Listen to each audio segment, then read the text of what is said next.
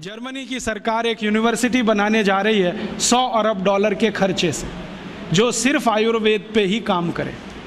America की सरकार अरबों डॉलर इन्वेस्ट कर रही है, क्योंकि अमेरिका की सरकार जानती है 20 साल के बाद यही चलने वाला है तो धड़ाधड़ पेटेंट ले रहे हैं। हल्दी पे ले लो, इस पे ले लो, इस पे ले लो, और हम अभी भी गहरी नींद में सो रहे हैं। अगर दम नहीं होता हल्दी में तो अमरीकी सरकार ने 33 पेटेंट कैसे ले लिए?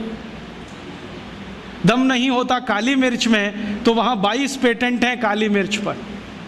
और सबसे लेटेस्ट पेटेंट पता है काली मिर्च का क्या है? कि इसको चूसो तो खांसी ठीक हो जाती है। अमेरिका ने इस पर पेटेंट किया हुआ है कि काली मिर्च को चूसने मात्र से खांसी ठीक हो जाती है। ये तो हमारे देश में लाखों माताएँ बहनें रोज करती हैं। सब जानते हैं कि काली मिर्च को चूसो तो खांसी ठीक हो जाती है।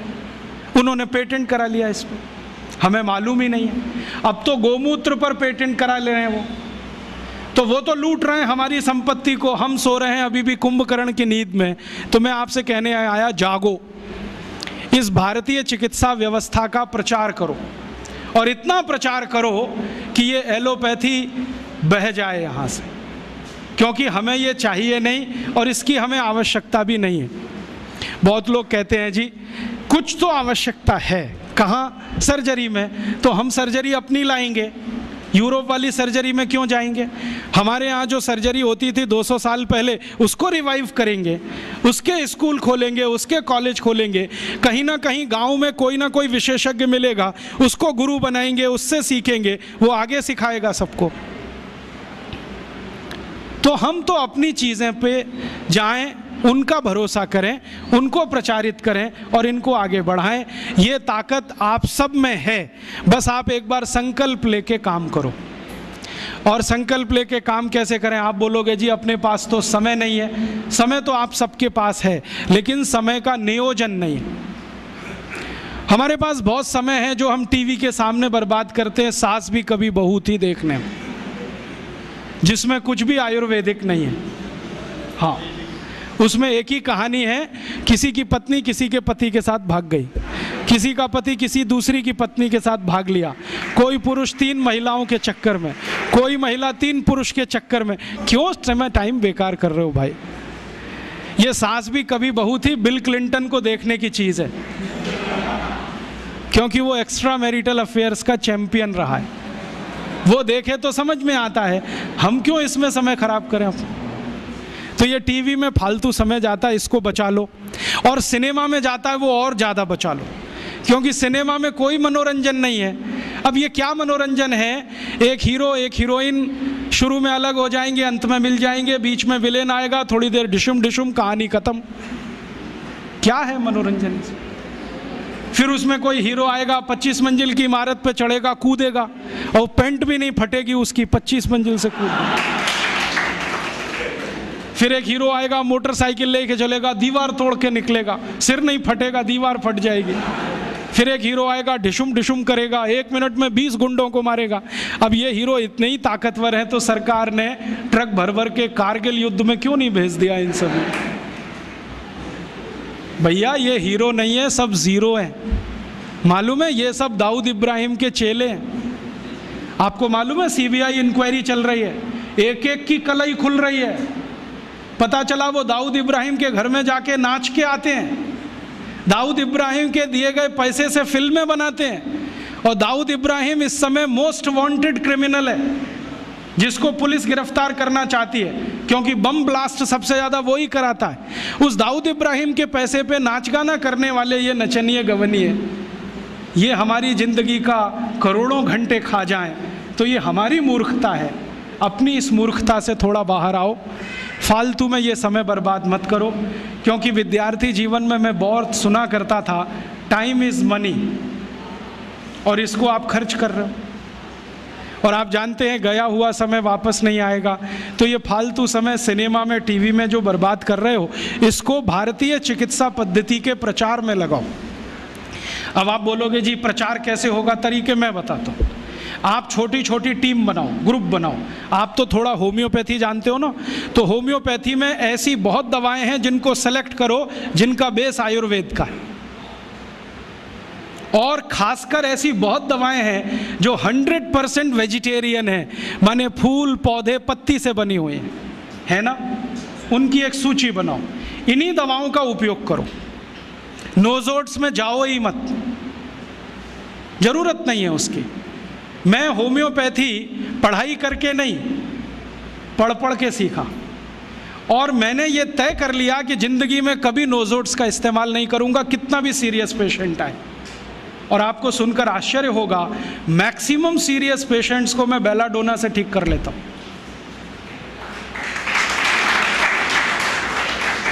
एक बार एक होम्योपैथिक कॉलेज के प्रिंसिपल ने मुझे पूछा कि राजीव का ये सभी क्रोनिक केस क्लियर करती है। कैसे करती है?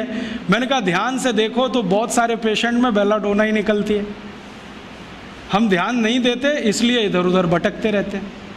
जब अकेली बेलाडोना इतने काम कर सकती है तो काय को ऐसी मेडिसिन में जाना जो अपनी चरित्र से, प्रकृति से, स्वभाव से मेल नहीं खाती? भारत में जानते हैं, मैक्सिमम लोग शाकाहारी हैं। स्वभाव हमारा शाकाहारी पने का है। तो दवाएँ भी वही सेलेक्ट कर लो जो शाकाहारी हैं। इन दवाओं की सूची बना लो और इनको लेके गाँव गाँव जाओ। रविवार में जब छुट्टी होती है दो तीन घंटे के चिकित्सा शिविर लगाओ।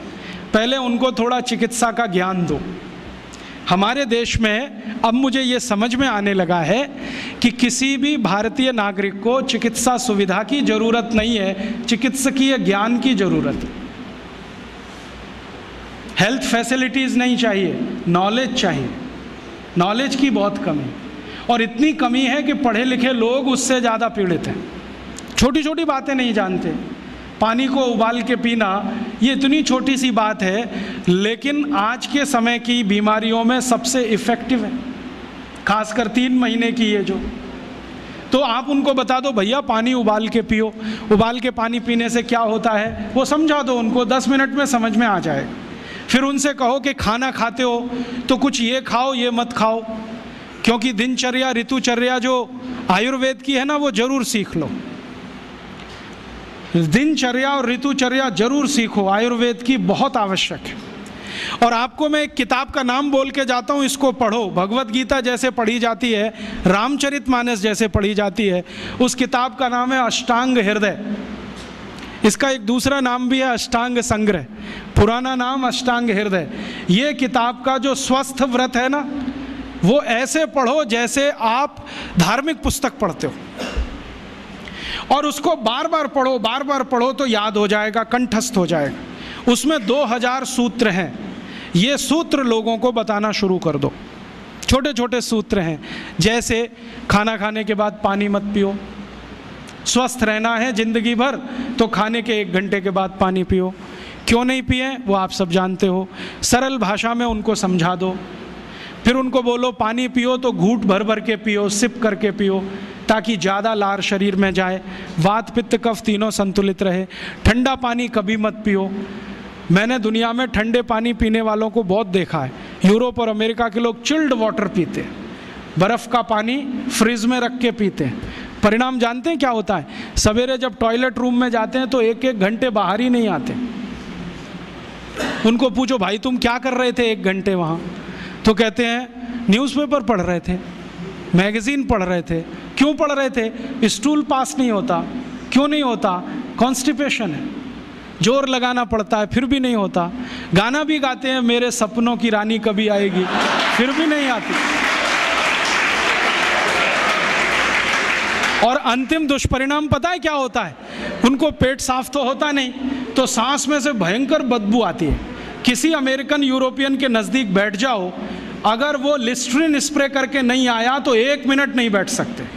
हर समय उनको माउथ फ्रेशनर स्प्रे करना पड़ता है, क्योंकि अंतड़ियाँ साफ़ नहीं है, कब्जियत है, मल भरा हुआ है, उसमें कचरा जमा है। फिर उनके पसीने में से भी बदबू आती है। क्यों? कब्जियत बहुत है। और पसीने की बदबू दूर करने के लिए डिओडरेंट स्प्रे करते रहते हैं। और आप तो सब जानते हो कि अगर कब्जियत है तो बाल भी कड़क रहते हैं। तो उन कड़क बाल को सॉफ्ट करने के लिए क्या क्या सब करते हैं? शैम्पू लगाते हैं। शैम्पू के बाद पता नहीं क्या क्या लगाते हैं। ये सब वो जो करते हैं ना, उनकी मजबूरी है। स्टेटस सिंबल नहीं है। इसको अपने दिमाग से निकाल दो कि ये कोई स्टेटस सिंबल है। तो सरल भाषा में समझाओ, ठंडा पानी पीने से ये होता है। मत पियो। समझ जाएँगे। फिर उनको बोलो, सवेरे उठो तो सबसे पहले पानी पियो। फिर उनसे बोलो, खाना खाओ तो बैठ के खाओ। कभी भी खाना खाओ तो पूर्व दिशा में सिर करके, सॉरी, मुँह करके खाओ। सो तो पूर्व दिशा में। ये अष्टांग हृदय में इतने अद्भुत छोटे छोटी बातें हैं तो संस्कृत में है, लेकिन अब तो उसका हिंदी भी आने लगा है। तो हिंदी ले लो, हिंदी वर्जन ले लो, इसको पढ़ो बार बार पढ़ो और ये जाके गाँव में सबको बताओ। फिर उनको कहो, देखो, ये तो है स्वस्थ रहने के लिए। अब तुम बीमार पड़ो तो बताओ तुम्हारी बीमारी क्या है? ये बीमारी है तो ये दवा है। ये बीमारी है तो ये दवा है। और मेरा आपसे एक निवेदन ज़रूर है कि अगर आप होम्योपैथी से भी इलाज करो तो उसकी मूल दवा ज़रूर बता दो। उनको ये ग्रीक और रोमन नाम में मत फंसाओ। आप कहोगे, जी, मैं तो ऑसीमम दे रहा हूँ। ये उनको कहो, ये तो तुलसी का रस है भैया। तुम्हारे घर में फूलों से बनी हुई है, आसानी से मिलती है। जयपुर में मिलती है, दिल्ली में मिलती है। भंडारी वालों को अक्सर ऑर्डर दे के रखो, हमको इतनी भेजो। उनको जो पता चल गया कि आप प्रचार के लिए कर रहे हो तो मुफ़्त में भी दे देंगे आपको। तो इस तरह से आप गाँव गाँव जाओ। छोटे छोटे शिविर लगाओ। गाँव वालों को इकट्ठा करो। गाँव वाले बहुत दुखी हैं। शहर वाले भी दुखी हैं वैसे तो। वो दुखी हैं, इसका यही सबूत है कि रामदेव जी आए जयपुर में सवेरे चार बजे तो सब लोग पहुँच जाते हैं वहाँ। पैसा भी देते हैं, समय भी देते हैं। और चार बजे रामदेव जी कहें, टांग ऊपर उठा लो तो उठा लेते हैं। कहें, सिर नीचे कर दो तो कर लेते हैं। ऐसे कर लो तो कर लेते हैं। क्यों? परेशान है, दुखी है, शरीर उनका साथ नहीं दे रहा है। और इतने दुखी हैं कि रामदेव जी तो क्या? कोई टिम्बकटू आ जाए, उसी के सामने वो आ जाएँगे। और वो दुनिया भर में घूम के आते हैं अपनी अपनी छोटी छोटी बीमारियाँ लेके। तो इन जो दुखी लोगों का थोड़ा थोड़ा आप मदद कर दो, इलाज के रूप में ये सब आपके भगत हो जाएँगे। और ये भगत हो जाएँगे तो कहो, आप भी प्रचार करो इसका। वो भी करें, आप भी करो। तो ये इतना तेज़ी से मल्टीप्लाई करेगा कि दो पाँच साल में एलोपैथी का बाजा बज जाएगा। और बजा देना है अपने को। हाँ ये संकल्प लेके चलो कि इनका बाजा हमको बजाना है। मैं बहुत जल्दी एक टीवी चैनल शुरू करने जा रहा हूँ, एलोपैथी का बाजा बजाने के लिए। इनकी सब पोल खोलनी है मुझे। हाँ इनकी इतनी पोल हैं मेरे पास कम से कम, मेरे पास कम से कम डेढ़ हज़ार से ज़्यादा डॉक्यूमेंट्स हैं जो एलोपैथी के गंदेपन को सिद्ध करने वाले इनकी निकृष्टता को सिद्ध करने वाले ये कितने अनसाइंटिफिक हैं वो बताने वाले हैं। कितने डॉगमेटिक हैं वो बताने वाले हैं। मेरे पास ऐसे बहुत इंटरव्यूज़ हैं बड़े बड़े डॉक्टरों के वो कहते हैं कि हम कोई डायग्नोसिस नहीं करते, तीर मारते, लग गया तो ठीक, नहीं तो तुक्का। और वो कहते हैं, हम तो एक ही सिद्धांत पे काम करते हैं trial and error trial and error देते जाओ, गलतियाँ करते जाओ, देते जाओ, गलती, भले मर जाए पेशेंट उसमें। हमारे पास तो कम से कम ये नहीं है ट्रायल एंड एरर वाला। हम तो जानते हैं कि तुलसी है तो उसके ये गुण हैं तो ये रिज़ल्ट आना ही चाहिए। मैथी है तो उसके ये गुण हैं तो ये रिज़ल्ट आना ही चाहिए। हमको सब मालूम है फिक्स है। यहाँ वेरिएशन नहीं है। मैथी के जो रिज़ल्ट चरक ऋषि को मिले, वो आज भी मिलते हैं। इसमें इतना सातत्य है वेरिएशन कहीं भी नहीं है। तो जो विज्ञान में सातत्य होता है, सत्य ज्ञान वही होता है। तो हमारे पास जो सत्य ज्ञान है, इसको लेकर आगे बढ़ें और इसके अपने जीवन में भी और दूसरों के जीवन में प्रयोग करने के लिए प्रेरित करें।